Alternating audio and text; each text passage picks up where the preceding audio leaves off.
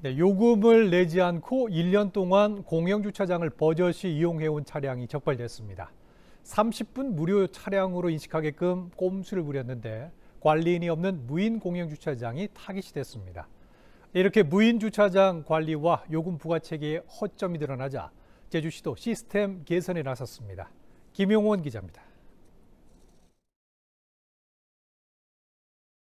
공영 주차장에 방금 들어온 차량이 크게 회전하더니 다시 출구 쪽으로 향합니다. 차단기가 올라갔지만 빠져나가지 않고 곧바로 후진해 한쪽에 정차합니다. 도로가 아닌 주차장 입구에서 유턴한 차량. 주차 요금을 내지 않기 위한 꼼수였습니다. 차단기가 올라가면 밖으로 나가지 않더라도 30분 이내 무료 차량으로 인식하기 때문입니다. 이렇게 세워두고 주차장이 전면 개방되는 오후 6시 이후나 주말에 빠져나가면 요금이 부과되지 않았습니다.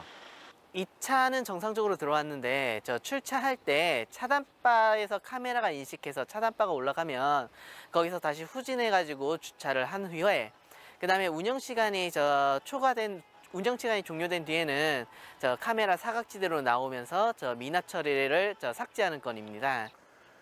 무인 공영 주차장 특성상 쉽게 적발할 수 없는 시스템이어서 이 같은 편법 이용 수법은 무려 1년 동안이나 계속됐습니다.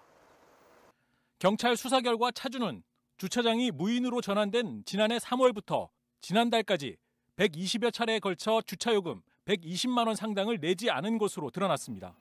차주는 무인 시스템 주차장을 자주 이용하면서 방법을 알게 된 것으로 알려졌습니다. 경찰은 차주의 편의시설 부정이용 혐의를 적용해 사건을 검찰로 넘겼습니다. 현재 제주시 공영주차장 78곳 가운데 무인으로 전환된 곳은 60여 곳으로 80%가 넘습니다. 무인화된 주차장의 차량 관리와 요금 부과 체계에 허점이 드러난 가운데 제주시는 요금 미납 차량을 대상으로 전수조사를 실시하고 무인 공영주차장 운영 시스템도 개선할 계획입니다. KCTV 뉴스 김용원입니다.